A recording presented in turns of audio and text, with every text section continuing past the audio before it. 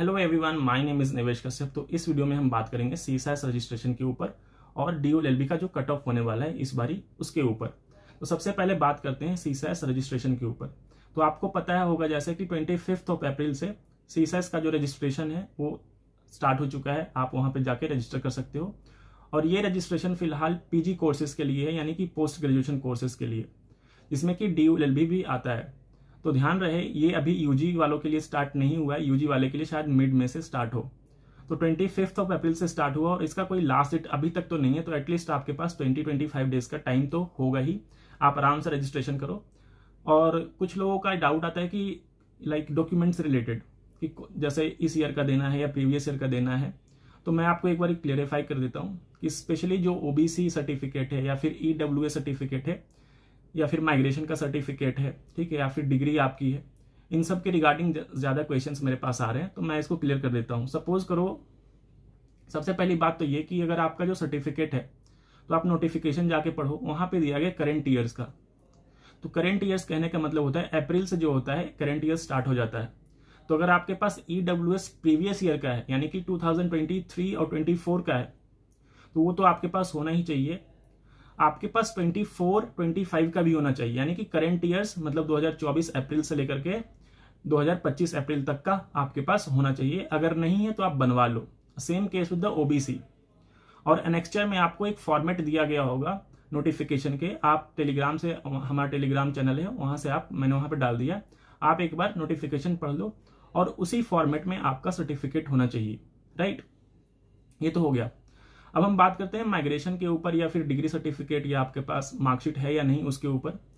तो देखो, अगर आपके पास माइग्रेशन सर्टिफिकेट नहीं है या आपका डिग्री नहीं है या आपका मार्कशीट नहीं है तो आप अंडरटेकिंग फ़ाइल कर सकते हो। आपको टाइम मिलेगा, ठीक? तो ये आपको करना अंडरटेकिंग भी फ़ाइल कर सकते हो। ज़रूरी नहीं कि आपके पास अभी हो ही, ठीक?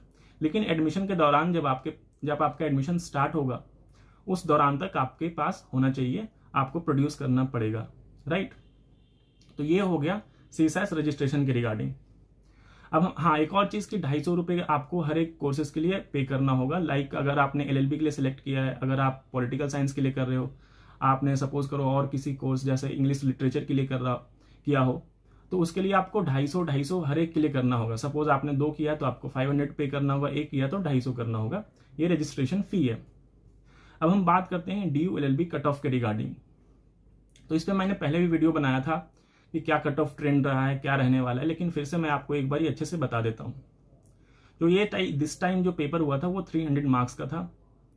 तो 300 मार्क्स को देख करके ऐसा नहीं होता कि कट ऑफ़ बहुत ज़्यादा हाई चला जाएगा, बहुत लो होगा, ऐसा नहीं होता है। तो जनरली जो ट्रेंड रहा है प्रीवियस ईयर अगर आप देखो तो 60 परसेंट ऑफ़ द पेपर अगर आप स्कोर करते हो तो आपका एडमिशन कहीं ना कहीं हो जा रहा है।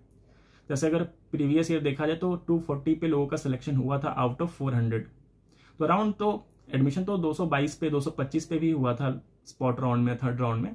लेकिन मैं फ़र्स्ट कट ऑफ़ लिस्ट की बात कर रहा हूँ। अगर फ़र्स्ट कट ऑफ़ लिस्ट में अगर आपको आना है तो आपको 60 परसेंट अबव मार्क्स चाहिए होंगे। लाइक like, एक सेफ़ जोन के लिए। हो सकता है कि 55 57 परसेंट भी जाए लेकिन एक सेफ़ रहने के लिए आपको 60 परसेंट लाना ज़रूरी है। तो अगर आप 300 का 60 परसेंट निकालते हो तो दैट इज़ 180 मार्क्स तो अगर आपके 180 से ऊपर हैं लाइक 180, 185, 190 मार्क्स और ये जनरल कैटेगरी की बात कर रहा हूँ मैं क्या कर बताऊँगा आगे कि ओबीसी या फिर एससी कैंडिडेट्स हैं उनके कितने मार्क्स जा सकते हैं। तो अगर आप जनरल कैटेगरी से हो तो आपका 180 अगर है 180 मार्क्स 180 इवन 175 भी है तो आपके हाई चांसेस हैं कि आपका जो है फ़र्स्ट कट ऑफ़ लिस्ट में नाम आ सकता है। लेकिन 180 से अगर आप ऊपर हो तो श्योर शॉट आएगा 180 185 ठीक है? बहुत ज़्यादा फ्लक्चुएट नहीं करेगा दो चार नंबर आगे पीछे हो सकता है। अगेन जो ओबीसी कैंडिडेट्स हैं अगेन वो दस नंबर अपना पीछे करके चल सकते हैं। लाइक like, अगर आपका 170 है 175 तक मार्क्स है तो आपका जो है फ़र्स्ट राउंड में फ़र्स्ट जो लिस्ट आएगी उसमें आपका एडमिशन हो जाएगा।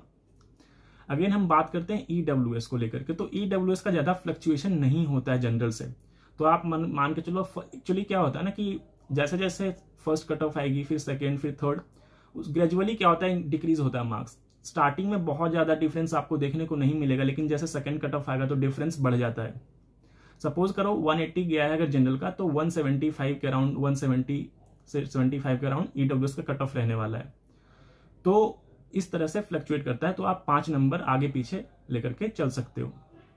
अगेन हम बात करते हैं एसी कैंडिडेट के, के रिगार्डिंग तो एसी का कट ऑफ़ क्या होता है कि बहुत ज़्यादा गैप होता है जनरल और एसी के बीच में।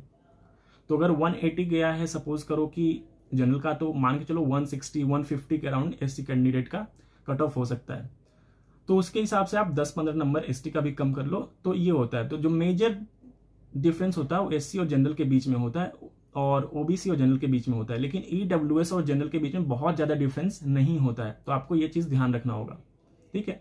तो फ़र्स्ट अगर राउंड में आपको एडमिशन चाहिए तो आपको 180 plus and again this is not for CLC क्योंकि सीएलसी के लिए कट ऑफ़ होना एक अलग चीज़ है, और आपको एडमिशन मिल जाना एक अलग चीज़ है। तो बहुत लोग कंफ्यूज हो जाते हैं कि 180 सीएलसी के लिए बोल दिया, ऐसा नहीं है। 180 इज़ फॉर योर एडमिशन मतलब आपको L C one L C two किसी में भी एडमिशन मिल जाएगा। लेकिन अगर आपको सीएलसी में चाहिए एडमिशन फ़र्स्ट राउंड में तो आपको 200 प्लस मार्क्स चाहिए होंगे, चाहे आप किसी भी कैटेगरी से हो specially general category and EWS category ठीक? तो इस आपको जैसे जैसे जिस अब जैसे कट ऑफ़ जिस दिन रिलीज़ की जाएगी, उस दिन मैं आपको बताऊँगा कि सेकेंड राउंड या थर्ड राउंड में किस तरीके से फ्लक्चुएट हो रहा है। क्योंकि अभी हम एक रफ आइडिया ही लगा सकते हैं प्रीवियस ईयर ट्रेंड्स के ऊपर। और ये एक सेफ़ है सिक्सटी परसेंट जो होता है, एक सेफ़ स्कोर माना जाता है। तो बाकी अगर आपको कुछ डाउट पूछना है डी यू एल बी के एडमिशन से रिलेटेड तो कमेंट बॉक्स में हमें, हम, आप हमसे पूछ सकते हैं। बाकी इस वीडियो में इतना ही। Thank you and have nice day